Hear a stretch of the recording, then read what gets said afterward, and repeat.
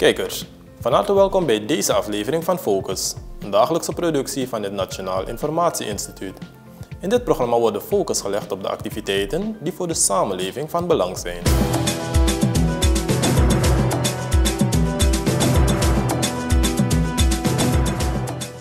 Vandaag in Focus. Regering verliest in ex-minister Lakin gedreven persoonlijkheid. 16e edities Revidentie Marathon voor de deur. Vorderingen in rehabilitatie Nieuwe Charlesburgweg. Kabinet-president overhandigt cheque aan winnaar presidentschap. BOG benadrukt gevaar in importverbod e-sigaret. En naambord Nieuwbouw Suriname National Training Authority onthult.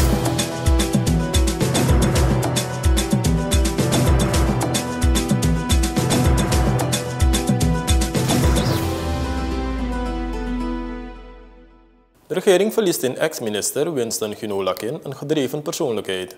De ex-bewindsman verwisselde op maandag 11 november na een kortstondig ziekbed het tijdelijke met het eeuwige. Lakin heeft zich in de buitenlandse diplomatie verdienstelijk gemaakt voor Suriname, zeker als het gaat om de CARICOM en de UNASUR. Hij beheerste verschillende talen, waardoor hij zich ook internationaal kon bewegen. Lakin is gedurende de regering Bouterse I minister van Buitenlandse Zaken geweest en heeft in die functie voldoende richting helpen geven aan het buitenlands beleid. Hij heeft ons land ook helpen uitdragen bij diverse internationale organisaties en heeft daarbij met toewijding en overredingskracht standpunten van Suriname op een kundige manier weten te onderstrepen. Lakin was een man die zich met gedrevenheid stelde achter de beleidsdoelen van de regering. Hij is tot voor zijn heengaan ambassadeur in de algemene dienst geweest op het kabinet van de president. In die hoedanigheid was Lakin belast met de coördinatie van het milieubeleid. In dat kader heeft hij leiding gegeven aan de in februari in Suriname gehouden High Forest Cover Low Deforestation HFLD Milieuconferentie. Dat Suriname toen de leidersrol kreeg van de HFLD-countries is een van de internationale verworvenheden van de verschillende diplomaten. De regering condoleerde de Surinaamse gemeenschap met het heengaan van de gewezen minister.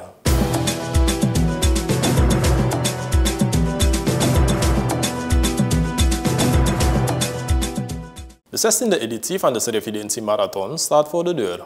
Deze lange afstandloop is op zaterdag 16 november en concentreert zich in Paramaribo Noord.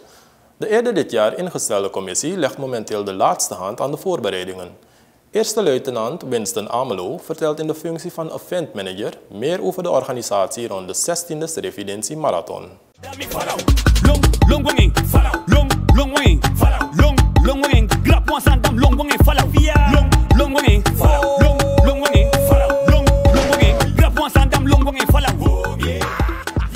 Amelo, we hebben straks de Revidentie Marathon.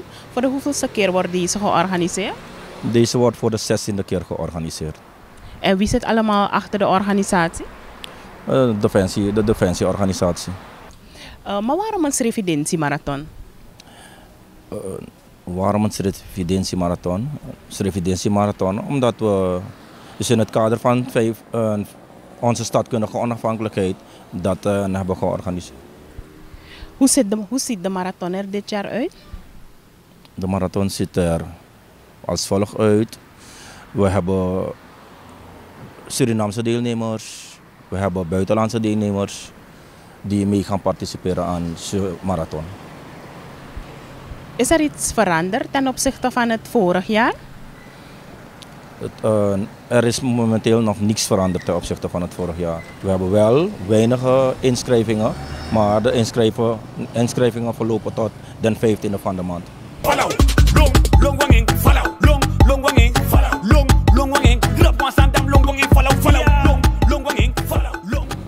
En wanneer wordt de marathon gehouden? De marathon wordt op 16 november aanstaande gehouden. Uh, wat is de bijdrage van het publiek in deze? De bijdrage van het publiek is dat ze massaal komen, want we hebben Surinaamse deelnemers, om ze te komen aanvuren. Um, u heeft aangehaald en we hebben Surinaamse deelnemers, we hebben buitenlandse deelnemers. Um, hoe, hoe ziet die variatie eruit? Hebben we meer Surinaamse deelnemers of meer buitenlandse? We hebben meer buitenlandse deelnemers, maar we hebben wel Surinaamse deelnemers. Kunt u enkele klinkende namen noemen van personen die meedoen dit jaar? Uh, de nummer 2 van 2018, uh, meneer Gieten. De, dat is bij de heren. En bij de dames heb je dan Irene Teendaal en eh, Debbie, Debbie, Debbie Frans. Hoeveel deelnemers hebben we dit jaar? Het is nog niet helemaal vastgesteld, dus, want we hebben nog inschrijvingen. Maar bij de marathon hebben we 17 mannen om 10 vrouwen. Bij de halve marathon hebben we ongeveer 101. Daar heb je dan een specificatie van Surinamers, Nederlanders, een Mexi één, Mexicaan die meedoet en één Chinees.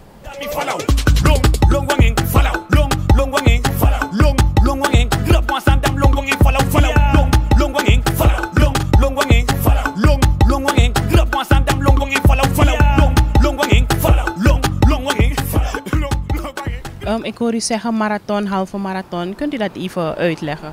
De marathon is over een afstand van 42, zoveel kilometer. En de halve marathon is de helft ervan. Um, kunt u ook iets zeggen over de prijzen?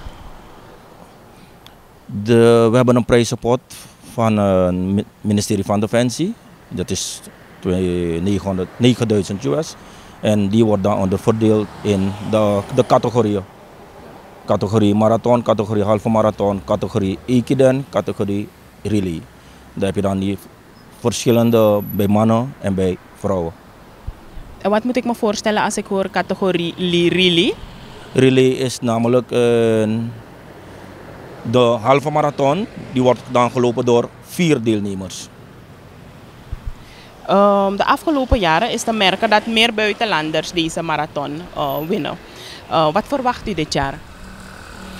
Nou, als we even terugkijken naar 2018, heeft meneer Gieten het niet slecht gedaan. Ik verwacht dat hij het veel beter doet. Meneer Udenhout die is ook van de partij, die had ook eens een marathon op zijn naam. Dus hij is dan gaan trainen in Trinidad. Dus nu is hij terug. Dus ik hoop het beste dat wij, dat mensen van Suriname, dan de marathon winnen. Um, hoe ziet de afstemming eruit, uh, vooral met KPS? Alles zit in kannen en kruiken met KPS. En de route, kunt u ons de route doorgeven?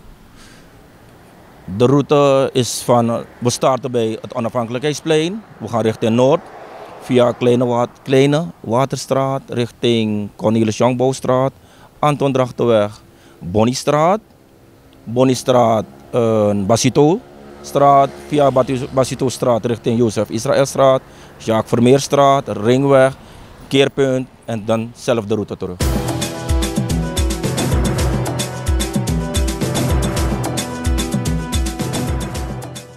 De rehabilitatiewerkzaamheden aan de nieuwe Charlesburgweg lopen gestaag. Het wegdek is voor een deel reeds van de eerste asfaltlaag voorzien. De aanpak van de nieuwe Charlesburgweg valt binnen het Dalian 4 asfalteringsproject. Jarek Waaien, directievoerder van bureau Site NV, vertelt meer over de vorderingen.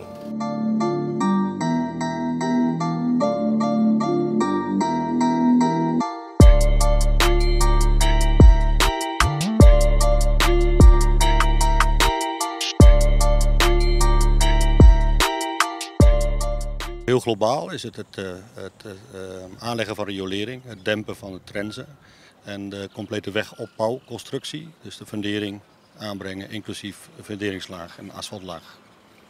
We staan nu hier aan de Nieuwe Charlesburgweg. En uh, ik zie dat er behoorlijk wat activiteiten plaatsvinden. Maar wat is, er, wat is er in principe tot nu toe al gerealiseerd? Nou, we zijn ongeveer op drie kwart van, van alle werkzaamheden. Het lijkt nog een beetje een puzzeltje op dit moment. Maar dat gaat straks allemaal als een uh, mooie puzzel in elkaar vallen. Uh, ik denk dat drie kwart van de riolering op dit moment uh, al is aangebracht. Uh, fundering van de weg wordt aangepakt. U ziet achter ons nu de EBS druk bezig om hun netwerksysteem, of hun netwerk eigenlijk, om te zetten. Dat gaat van de westelijke kant naar de oostelijke kant. Ehm, ja, verder, daar waar nog nutsvoorzieningen aangebracht gebracht moeten worden, zullen nu worden gedaan. En binnenkort gaan we weer een deel asfalteren. Waarbij we dus vooralsnog eerst de twee onderlagen aanbrengen. Zoals nu ook is gedaan richting de Paragrasweg vanaf de Quattaweg. Uh, zullen we doorgaan. Hoe belangrijk was het om uh, deze straat aan te pakken? Ik denk dat heel weinig aannemers het gedurfd hebben om deze straat aan te pakken. Uh, firma Dipsing in dit geval heeft het, heeft het gedaan onder Dalian 4. Eh, met ons als eh, projectbegeleider, eh, directievoerder. En ik denk dat het, ja, het is een hele belangrijke doorvoerweg van de ringweg naar het centrum en vice versa. Dus het is vrij belangrijk dat deze weg gerehabiliteerd gaat worden. Uh, wat is uw ervaring uh, als u dan even terugkijkt tot nu toe uh, met de verschillende actoren, de verschillende bedrijven die zeg maar ook aan meewerken? Ja, alleen maar dank en lof. Allemaal. Kijk, er zijn altijd uitdagingen die je niet kunt voorzien. denk ook aan nutsvoorzieningen waarbij niet altijd alles duidelijk is wat er onder de grond lag en wat er nog ligt en wat er nog moet gaan komen. Hoeveel ruimte heb je? Uh, soms een puzzelstukje, maar met lof en dank aan alle actoren in dit geval. Dus ook de nutsbedrijven, de aannemer, de overheid, om, om dit werk toch op deze manier neer te kunnen zetten. Hoeveel tijd uh, is er nog nodig, meneer Waaier, om het werk af te leveren? Ja, het liefst morgen natuurlijk. Maar ehm, zoals ik nu in kan schatten, denk ik begin volgend jaar dat we gaan opleveren. En uh, ja, hoe, hoe uh, groot is de afstand van hier naar, zeg maar, tot waar het werk zeg maar, gedaan moet worden? Nou ja, de hele afstand is bijna 2400 meter. We zitten qua asfalt nu bijna op de helft. op een klein beetje over de helft eigenlijk. Ehm, ik hoop eind november dit stuk waar we nu staan weer te gaan asfalteren tot we moeten nog even exact kijken tot waar. Maar in ieder geval weer een behoorlijke slag maken. Uh, want daar zit ook het, het, het, voordeel in. Het meeste werk is al gedaan. Het zit ondergronds, dat zie je ook niet meer straks. Maar de bovenkant gaat het snel, zeggen we altijd. Dus dan gaat het, uh, dan gaat het hard. Wat zou dan het verschil uh, zijn in uw ogen als, als uitvoerder en ook voor de buurtbewoners? Ja, ik denk A, een stukje veiligheid. Het is veel overzichtelijker. De mensen hoeven niet alleen maar uit te wijken voor kuilen en gaten. Ehm, ja, het is duidelijk, de, de weg is iets verbreed. Ehm, ik wil niet zeggen dat het een racebaan moet worden, maar ja, het is gewoon een nette weg straks. En uh, er is dan ook geen sprake van onderlopen? Als het goed is niet. Of we hebben toch een hele denk denkfout gemaakt. Maar als het goed is, is uh, alles zodanig gedimensioneerd. er kan altijd een kleine calamiteit optreden uiteraard. Maar het is allemaal zo gedimensioneerd dat het water vlot moet aflopen.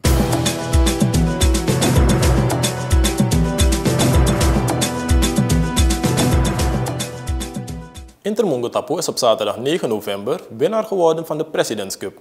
Een wedstrijd waarmee het nieuwe voetbalseizoen wordt ingeluid. De club kwam naast de bijbehorende trofee ook in aanmerking voor een geldbedrag. Clubeigenaar Ronnie Brunswijk nam de cheque hiervoor op dinsdag 12 november in ontvangst uit handen van Eugène van der San, directeur van het kabinet van de president.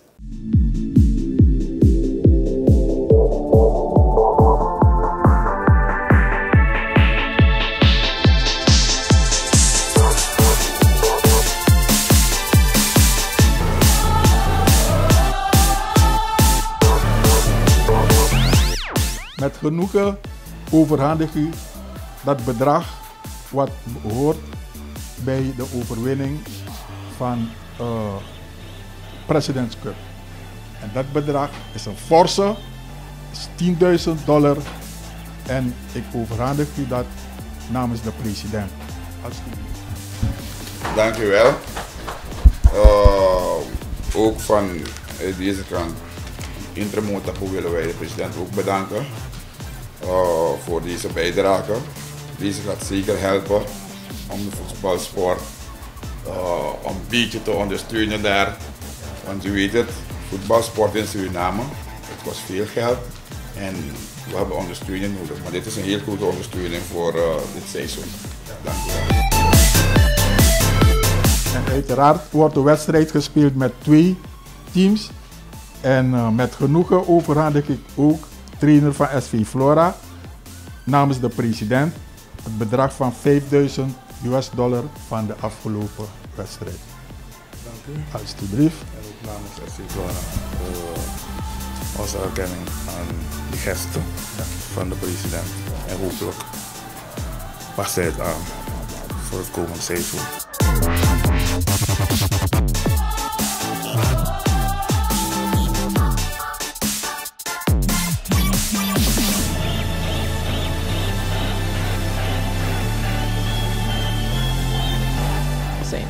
Nou kijk, uh, wanneer je in een voetbalclub zit, dat betekent dat je organisatie heel goed moet zijn.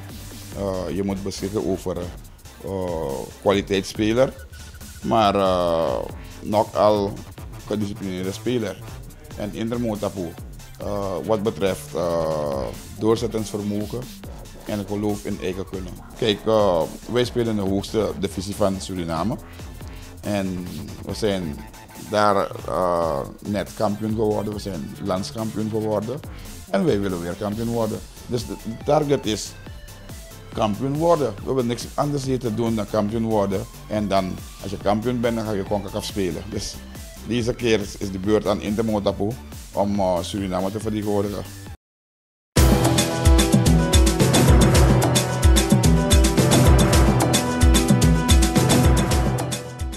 E-sigaret die als vervanging van tabak op de markt is gebracht, is lang niet ongevaarlijk. Derhalve is de import en verkoop hiervan bij wet verboden in Suriname. Astrasha Warner, waarnemend directeur van het Bureau voor de Openbare Gezondheidszorg, stelt harde maatregelen in het vooruitzicht en spoort de gemeenschap aan het verbod ter harte te nemen.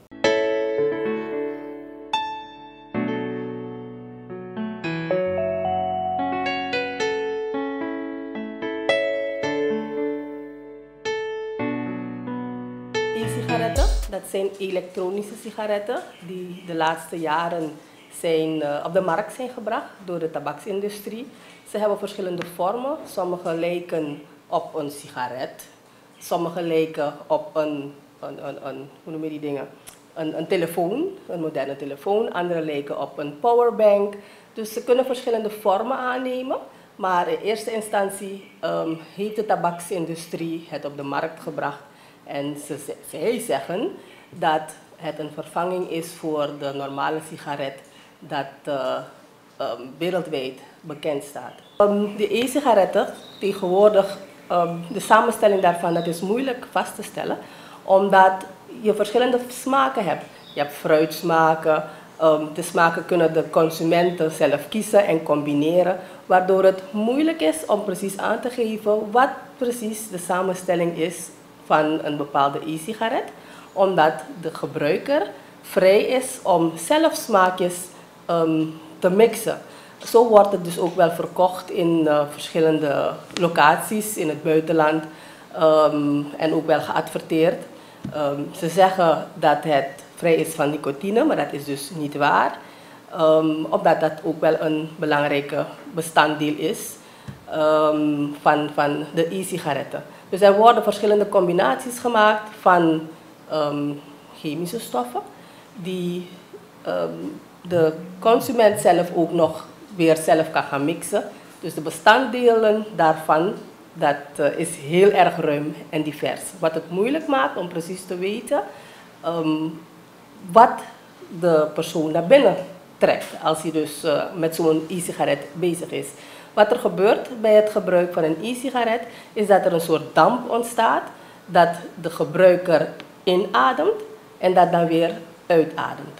Als u een anonieme klacht wilt indienen over een locatie waar er e-sigaretten worden verkocht, of van een locatie waar er uh, reclame van wordt gemaakt, dat ze een party hebben van shisha of van uh, wat dan ook dat te maken heeft met e-sigaretten, dan mag u bellen naar het nummer 49 41 30.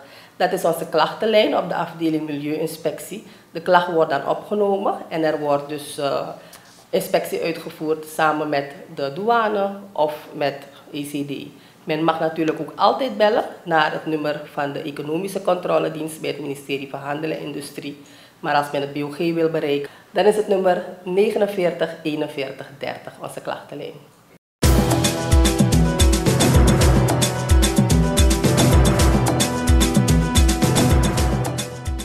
Aan de Botromankieweg op Livorno heeft op woensdag 12 november de onthulling van het naambord voor de Suriname National Training Authority plaatsgevonden. De bouwwerkzaamheden zijn reeds opgestart. U hoort onder meer Roy Adema en Marie Levens, beide van de werkgroep SNTA.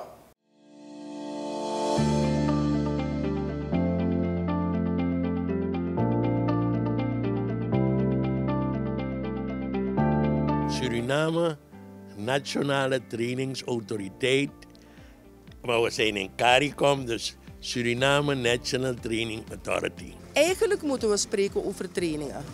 Want het is geen academisch onderwijsinstituut. Het is een instituut dat de kwaliteit gaat waarborgen van wat in het beroepsonderwijs gebeurt. En het is van enorm groot belang dat we uh, de kwaliteit waarborgen en dezelfde waardering geven aan onze afgestudeerden zoals die in het buitenland worden gegeven. De bouw duurt in totaal 18 maanden. Ze zijn reeds gestart op 10 september 2019 en uitgerekend kunnen we dan verwachten dat januari 2021 het gebouw wordt opgeleverd. Maar wanneer we het opleveren, moeten we iets goeds opleveren. We moeten die mensen niet een prachtig gebouw geven, maar zo moeten we ook de regels en alles opleveren. Hier komen er geen studenten. Hier komen alleen mensen die getraind zullen worden om na te gaan of de beroepsonderwijsinstellingen zich houden aan de spelregels. Dus je krijgt deskundigen hier, die worden constant getraind in wat zijn de competenties van een timmerman? Wat zijn de competenties van een architect? Wat zijn de competenties? Dus die houden in de gaten dat alle instituten die onderwijs verzorgen in het beroepenveld, dat die zich houden aan de standaarden. Dus hun, eigenlijk ze zijn geen inspecteurs, maar ze zijn wel mensen die naar het veld toe gaan om te zorgen dat de kwaliteit gehandhaafd blijft. Er is plaats voor ongeveer 62 mensen en er zijn trainingszalen voor mensen die getraind worden door de SNTA om voor de SNTA te werken of voor zaken de SNTA rakende. Wil je het land ontwikkelen, heb je skilled workers nodig. En dat heb je nodig binnen alle beroepen. Op alle niveaus. Skilled workers, dat wil zeggen competente krachten. Ze beschikken niet alleen over kennis, maar ze beschikken ook over de nodige competenties om het werk te verrichten, adequaat te verrichten, kwaliteit te leveren en de attitude die erbij hoort. Nog voordat de overheid het ISO-normeringsproces ter hand nam, waarbij men bedrijven sponsorde om een ISO-proces uh, te gaan volgen via de overheid, hadden wij ons ISO-proces al achter de rug en dat hadden we allemaal zelf bekostigd. Hetzelfde geldt ook voor onze veiligheidsnormen, etc. Geeft u alleen maar aan dat wij als bedrijf ons klaargemaakt hebben voor de toekomst en dat nu de toekomst er is, wij er ook zijn.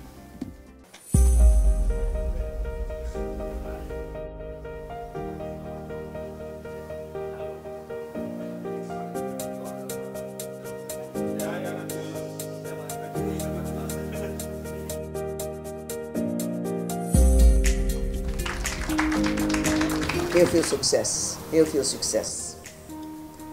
En mag de Heer zijn zegen leggen op dit werk. Tot opbouw en ontwikkeling van ons Suriname. Want daar gaat het om. Bedankt.